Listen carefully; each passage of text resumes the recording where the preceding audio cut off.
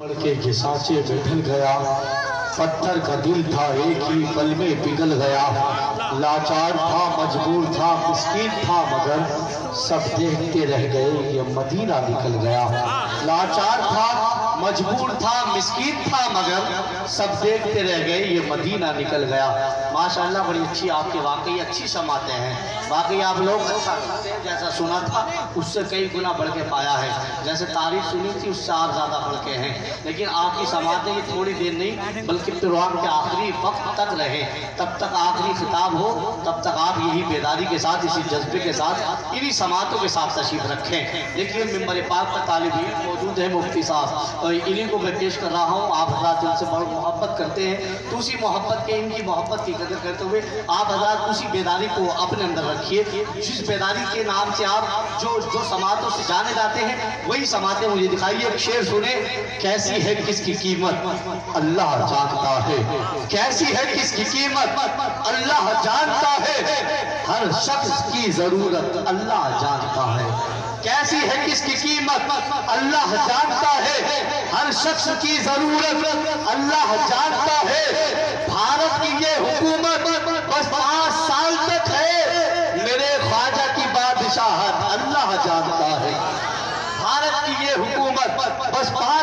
حکومت ہے۔ میرے خواجہ کی حکومت۔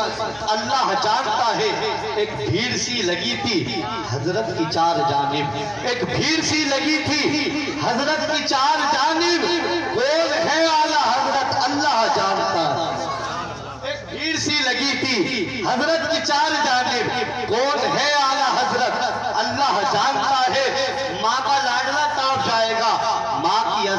پہ سب پڑھتے ہیں شیر، لیکن ماں کی عظمتوں پہ سب پڑھتے ہیں شیر، لیکن کرتا ہے کون خدمت؟ اللہ جانتا ہے۔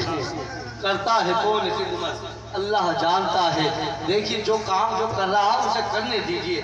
آپ حضرات ادھر دیکھئے ادھر دیکھنے میں فائدہ ہے۔ کیونکہ خدا کے نبی کے سوا خدا کے قریب کوئی نہیں۔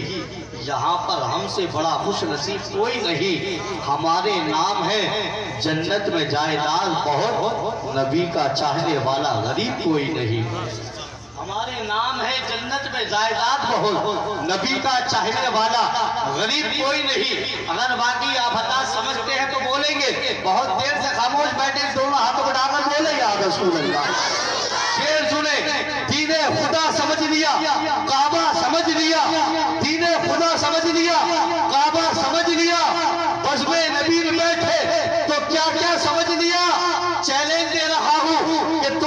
ادا نہ ہوگی، پھر کوئی نماز دعائیں علموں کی بھی چاہتا ہو تم سے قضا نہ ہوگی، پھر کوئی نماز تم نے اگر حسین کا سجدہ سمجھ لیا۔ تم سے قضا نہ ہوگی، پھر کوئی نماز تم نے اگر حسین کا سجدہ سمجھ لیا سبل کے بیٹھے، جم کے بیٹھے، اپنی اپنی جگہ سنبھال کے بیٹھے، آئیے میں بڑے ہی عدم احترام کے ساتھ اس عظیم خطیب کی بارگاہ مریضہ پیش کر رہا ہوں، جس کو آپ جانتے بھی ہیں اور روز جس سے ملاقات بھی کرتے ہیں اور جس سے بے پناہ محبت بھی کرتے ہیں۔ میری مراد تم خطیب ہندوستان، حضرت علامہ مفتی شہادت حسین نعیمی سے ہے، جو مائک پر اپنے خطاب سے۔ اپنے ہم سامعین کے قلوب کو منور و مجلہ فرمائے۔ یہ آپ ہمیں بتا دیجیے کہ ہم اپنے امام سے کتنی محبت کرتے ہیں۔ مجھے معلوم ہے بہت بے پناہ محبت کرتے ہیں۔ تو اس محبت کا اظہار بھی ہونا چاہیے۔ تو اسی اظہار محبت میں بیداری کے ساتھ جتنی محبت رکھتے ہیں، اسی محبت کے ساتھ آواز کو بلند کریے۔ میری آواز سے آواز ملائیے۔ پورا مجمع دونوں ہاتھوں کو ہوا میں لہرائیے۔ محبت سے بولیے نعرہ